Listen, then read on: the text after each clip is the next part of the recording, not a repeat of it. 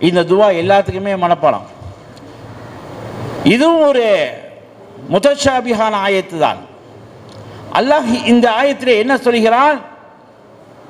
எங்களுடைய ரச்சகா உலகத்திலே எங்களுக்கு ஹசனாவை கொடுத்து விடு நல்லதை கொடுத்து விடு. மறுமையிலேயும் நல்லதை கொடுத்து விடு. நரக வேதனை விட்டு எங்களை காத்தருள்வாயாக என்று நாம் துவா கேட்கிறோம். இந்த நல்லது எது? நல்லதுன்னு பொதுவாக சொல்லியிருக்கான் அல்லாஹ். உலகத்தில் நல்லது எது? மறுமையில் நல்லது எது? அலிரதிதா அவர்கள் சொல்கிறார்கள் உலகத்திலே ஹசனா என்பது ஜௌஜத்தை சாலிஹா. சாலிஹான மனைவி தான் உலகத்திலே நல்லதுங்கிறாங்க. சாலியான மனைவி தான் உலகத்திலே நல்லது. திருமணம் நீங்கள் முடிக்காதவர்களாக இருந்தா ஆத்தினா ஹசனா. அடிக்கடி கேளுங்க. நீயத்தை வந்து சாலியான மனைவின்னு வச்சு கேளுங்க. அல்லாஹ் உங்களுக்கு சாலியான மனைவியை கொடுப்பான்.